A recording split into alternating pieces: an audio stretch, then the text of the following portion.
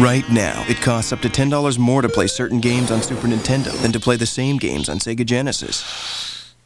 Games like Mortal Kombat and NBA Jam, which is fine if you don't mind being sucked dry.